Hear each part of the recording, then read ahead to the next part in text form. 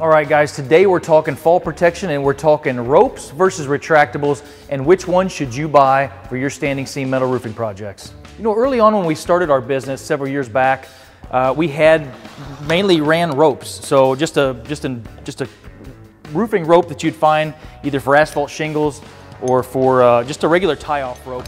But as we grew and we got onto big, big projects, uh, you know, it was some more high profile jobs. We noticed the other contractors, a lot of them were running retractables. So I thought, well, you know what, we'll run retractables as well.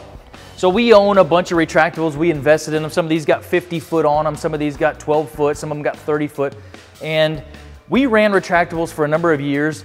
And I've tell you, I've come full circle back to ropes. And, and the reason why I, I wanted to make this video is because maybe I could save somebody some headaches. So these retractables cost about, I don't know, five to 700 bucks a pop to get 50 foot. I can get 50 foot of rope for $79 out of a bucket at Home Depot. And I've already got the butterfly tie off. So all, if we need to replace the rope at 79 bucks, these retractables, in my opinion, are not the way to go. Our, all of our crews now, if we got, they'll, they'll have every rope out and the last thing they'll get out if they're, if they need fall protection is a retractable. And here's why. When, when our guys are, are on these standing seam jobs, it just seems like when you have the ability to adjust yourself and hook off and just put a little bit of tension onto your harness, it kind of gives you a little bit, it, it just gives you a little bit of more pressure onto the roof with your feet.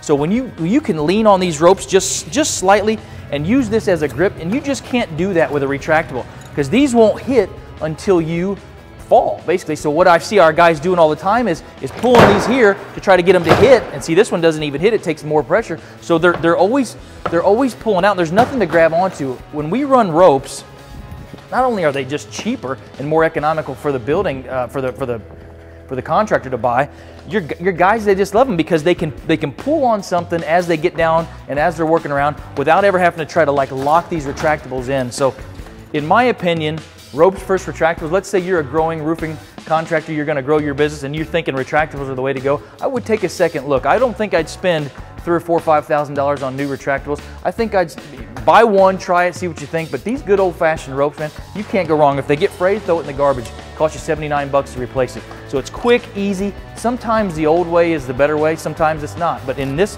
in this case, do I like ropes versus retractables? I'm going with ropes every time. I think we're more productive with ropes. They're cheaper, they're easier, they're quicker, it's simpler. I don't have to worry. Maybe this retractable is broke. Maybe if I can't get it to hit here, maybe I need, there, there's all kinds of things that I can't see going on inside that box.